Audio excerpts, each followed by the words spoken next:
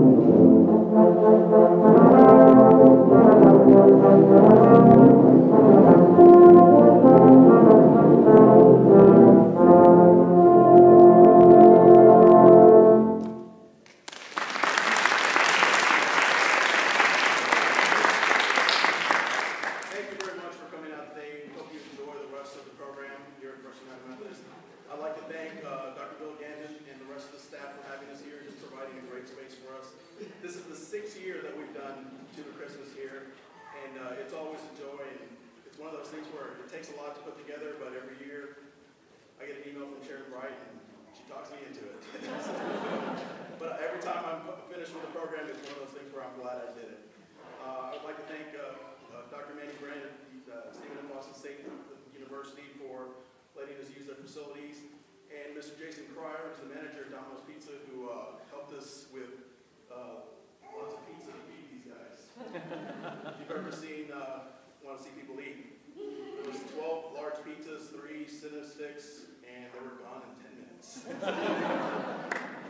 so it's quite a feat. So we'd like to thank you, and we'd like to wish you a Merry Christmas.